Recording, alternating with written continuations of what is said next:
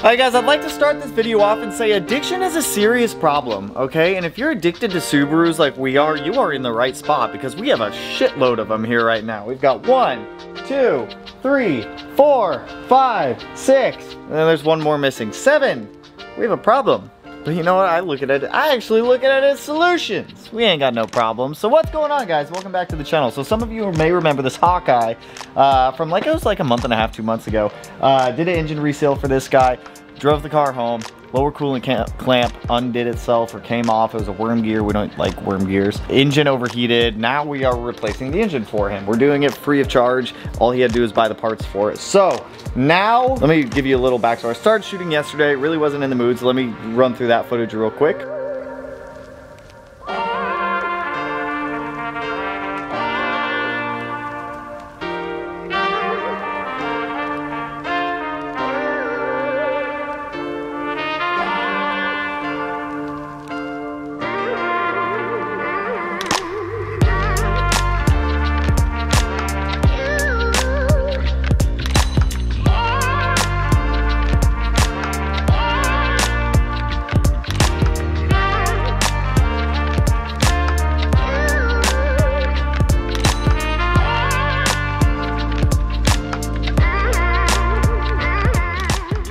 Alright, the boost controller's been replaced. All of the lines have been replaced with just some silicone lines for the time being. So let's do what we do best. Let's go try to get a log and see if we can get a clean wastegate pole with the boost controller hooked up this time and see if everything's good. If we get an overboost warning, that means that we have an issue.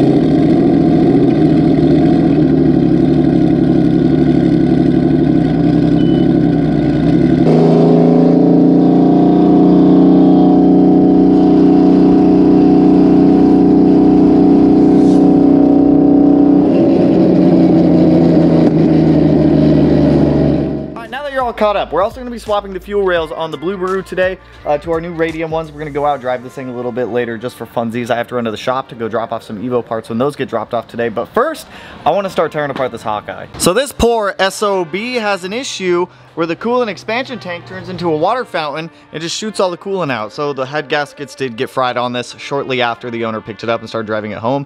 Um, with this one, after he picks the car, or after we're done with it, we're gonna put about 20, 50 miles on it, somewhere in that range, just to make sure that everything is solid on it. Uh, so that way he doesn't run into any, any more issues. And then we're gonna go over all of the basics with him, covering what to monitor on this car. So I've shown you guys how to tear these cars, tear these cars down so many times now. Uh, intakes coming out, intake manifolds coming off. All the accessories are coming off. Intercooler's coming out. We'll strip this thing down to a bare engine uh, and then yeet this thing out of here. So start tearing this guy down.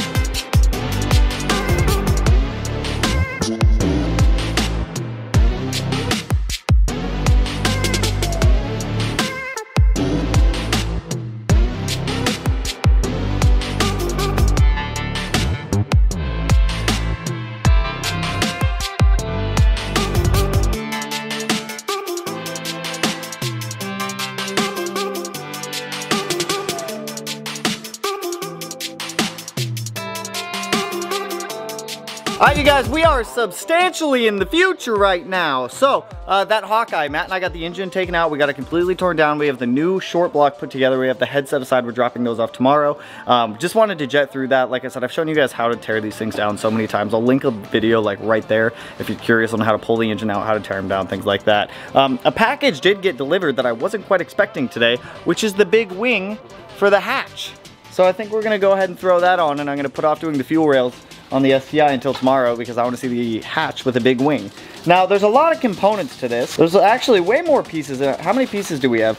One, like two, three. Well, there's like eight or nine pieces to this wing. Project for me because I've always liked the GR hatches and I've always wanted this wing. Have you? The hypothetical GR. It's also Cameron. I don't know if you guys remember Cameron. Cameron's made a few appearances on the channel. Like when we did the hood latches on the STI and some other ones when we like tore the EJ out of this thing the first time at the old garage and Cameron did something.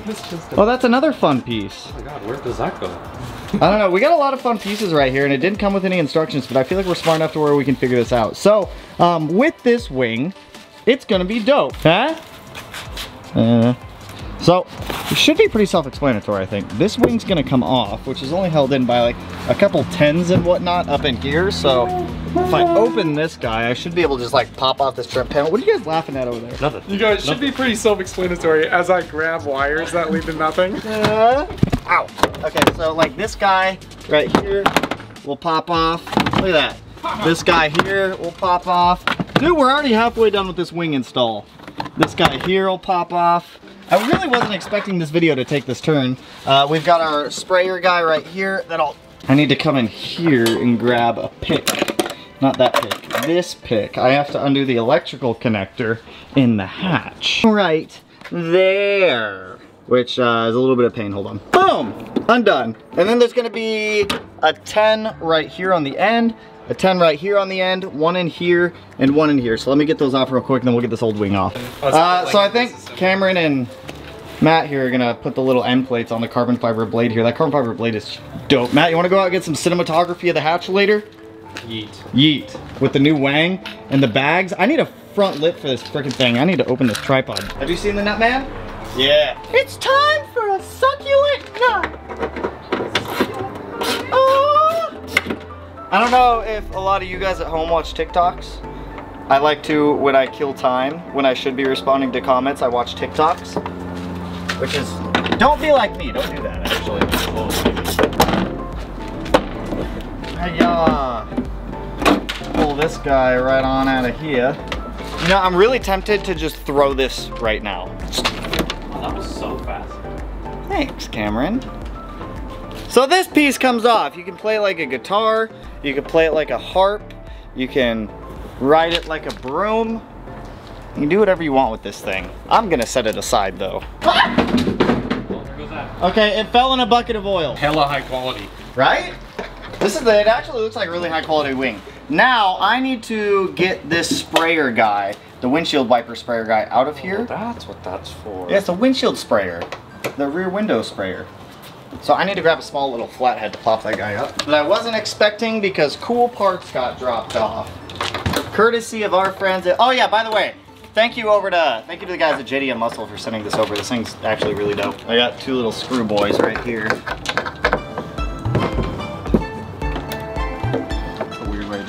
Well, how else would I do I mean, normally I just grind it to the chassis and then put the... Oh, hit that damn brake. Red on there. it don't matter though. Are you ready? Yeah. Is that it? Well, hold on. Let me check the other way. Oh, I'm on the wrong voltage mode. Huh, dummy. Yeah. Good? Yeah. Oh, okay, so white boy is ground boy? White boy is a ground boy. White wire with the black stripe will be your ground. The green with the white stripe is your power. So we're gonna, we're gonna end up just splicing these into the wire harness that came with our new brake light because the ones on those are just red and black. So that's pretty easy to figure out which one goes where. Matt, what is the current dilemma you're having? Nothing. Okay, there's no dilemma, you guys. Everything is going smooth. I do need to make up some JB weld though. Or do we need to drill that hole bigger? I would drill it first. The way that thing's gonna fit on there. Step drill bit. It is. How does that mount on there? There's nothing. Why is there a hole here? I don't know. Yeah, I don't know. It doesn't go through either. Doesn't? No. Uh, no. We got JB Weld and a step bit.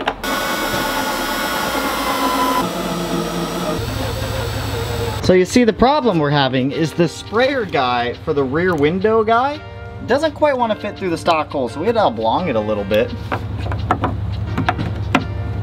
Is it closer? It's good. Do we need to JB weld this whole thing in? I don't, know. They didn't really give you There's no instructions with this. a way to get this to. So far, everything has been pretty smooth except for this window sprayer. Instant setting epoxy for 2300 PSI. Good for tile, most plastic, ceramic, and glass. That should be fine, right? That looks great. They didn't give us any little tiny screws. No. No. The only small screws they gave us were. But I mean, there's like these tiny fucking. I think those are just molding too. screws or molding holes. So I don't know how they expect this to. I mean, you could honestly just put it in with 3M. yeah, you probably could. Let me see the if I have it. You gonna put it on this? Probably. We're putting the JB Whizzle on the Fushizzle, Just on the chamfered part. the tabs. Chamfer. Cameron, this looks like art right now, man. Wow. It's probably gonna look like ass, but you know what? Nobody ever really Let's stares just- at a. Uh, A windshield sprayer. yeah. Yeah. just Let's just hope it doesn't burn the plastic.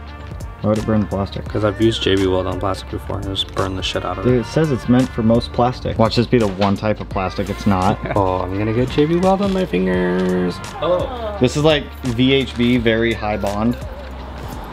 Oh. It's very high bond. What? Oh my god. Oh my god. You have to. Wow. press it on for Wow. four minutes. Though. What? Four mm-hmm. minutes? Four minutes. I don't know why we decided to do this install right now, but we're committed. Why wouldn't we? Why wouldn't we? We got a big wing in it. We, Cameron, you like big wings? Big Wang Gang. You know, believe it or not, there's some people on the internet who don't like big wings. And to that I say huzzah. See, it got me too, man. the canard got me too.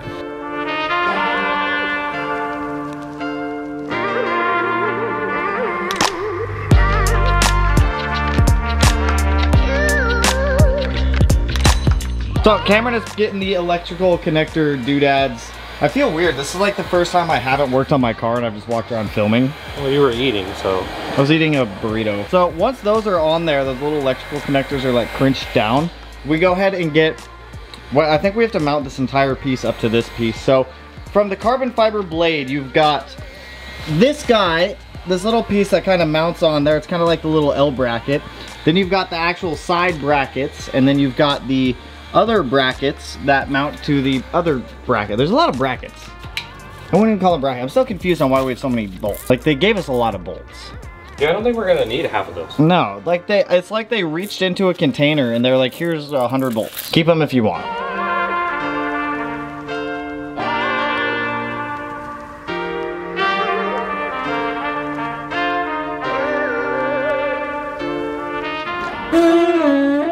With the squeaky ass hat. I like it. Oh my god, wow. Yeah, I think we should. When we go to wrap it, we'll throw some 3M tape down there. It's weird, there's less gap over there than there is this side. Honestly, it doesn't look bad. Is it supposed to sit up higher? I think so. Like, it, there's definitely a step in it. Yeah. It look good though. It's a good looking wing. Yeah, the paint matches exceptionally well. This is kind of a big gap. I don't I don't remember how big the gap was prior, but I don't think it's that big of a deal. I like it. It look good. Look good from the back. Big old wang. I like it. What you think, Cameron? Looks great. Does it? Number one, approved. Does it actually look great? It looks good. It does look good. I like it. I think you just need that 3M tape. Yeah. 3M tape the side. I'll get. I'll order like some of that like super high bond strength stuff. Dude, you can't even see the windshield sprayer. We spent so much time on it. Hey, will you go hit the brake light for me? I want to see what it looks like. Now With you got it?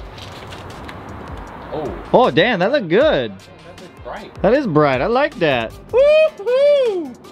Well, but you know what you gotta do now? Hi you guys, it's the next day. I wanted to be able to show you guys the wing in the daylight. I gotta say, it looks really freaking good. It took me a little bit of getting used to at first. I was a little impartial to it, but I, I do like it. If this is a wing that you guys want for your hatchbacks, like I said, I'll link down below JDM Muscle with a discount code for you guys if this is something you're looking for. Overall, I'd rate the quality like, I'd say like 8 out of 10. Would you say that's fair, Matt?